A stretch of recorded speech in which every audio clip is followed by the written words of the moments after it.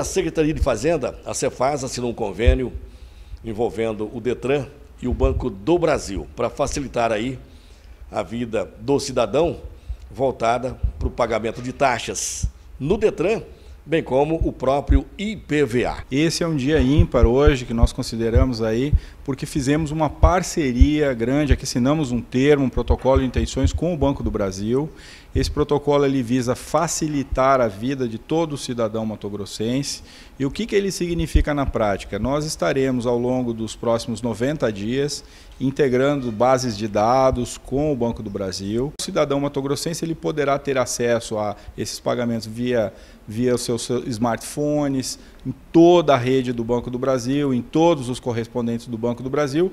E é uma inovação porque os mesmos não clientes do Banco do Brasil terão esse acesso, terão esse serviço. Né? Isso num primeiro momento, né? Isso. Tem outras taxas também, né? E isso ao longo do tempo a gente pretende aí fazer com que todos esses serviços que o governo do estado ele presta ao cidadão, todas essas taxas, ele possa fazer da mesma forma, de uma maneira desburocratizada, de uma maneira mais leve, com agilidade. Né? No caso da Fazenda, aqui nós poderíamos falar de um projeto grande que nós estamos fazendo, que é a questão do ITCD, que hoje preocupa toda a população por causa muitas vezes da demora. Então nós estamos atacando isso, buscando dar agilidade nesse serviço, para o cliente contribuinte, que é quem faz aí o Estado andar. Começa a funcionar a partir de quando, secretário? Olha, o prazo é 90 dias. Né? Esse, o Banco do Brasil está com o piloto, terminando o piloto agora na cidade de São Paulo, aonde ele está testando o pagamento da segunda via lá de identidade. Então, em 90 dias, a gente deve estar prestando esse serviço a pleno vapor. A partir de setembro, por aí. Setembro, é. E é importante lembrar também que existe um projeto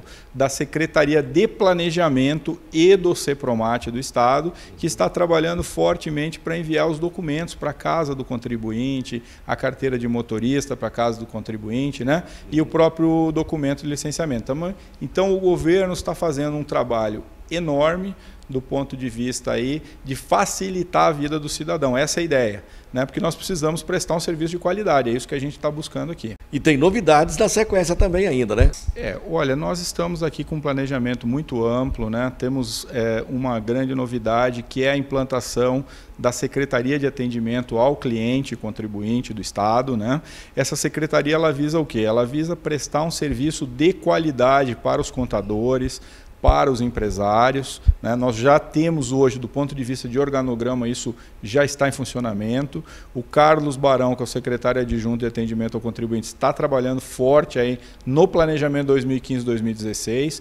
E isso significa o quê? Significa que nós estamos reestruturando o call center, nós estaremos aí reestruturando a ouvidoria da Cefaz, porque a gente acredita que o contribuinte precisa ter um canal para dar sugestões, para tirar suas dúvidas e para reclamar também, porque através dessas reclamações é que nós vamos aperfeiçoar cada dia mais o atendimento da Secretaria de Fazenda. Parabéns para o senhor.